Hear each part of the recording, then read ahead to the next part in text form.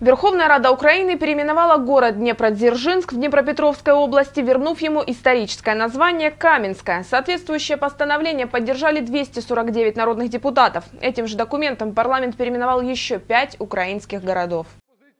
Согласно пояснительной записке, всего данным постановлением переименовано 9 районов, 6 городов и 284 села и поселков в Украине. В частности, Краснолиманский район Донецкой области стал Лиманским, Первомайский Мангушским, в Житомирской области Красноармейский район переименован в Пулинский, в Кировоградской области город Ульяновск в Благовещенск и, соответственно, новое название получил район Ульяновский. Кроме того, Октябрьский район Николаевской области стал Витковским, в Одесской области Красноярский стал Окнянским, а ПГТ Красные Окны, ПГТ Окны. Фрунзовский район переименован в Захаровский. В Полтавской области город Комсомольск получил название Горишни Плавни, а в Ровенской области город Кузнецовск переименован в город Вараж. Кроме того, постановлением номер 4691 Верховная Рада переименовала еще 12 населенных пунктов. Данное постановление поддержали 253 народных депутата на заседании парламента в четверг. Постановление предусматривает переименование 12 населенных пунктов Винницкой, Днепропетровской, Кировоградской, Луганской, Одесской, Полтавской, Харьковской, Херсонской и Черниговской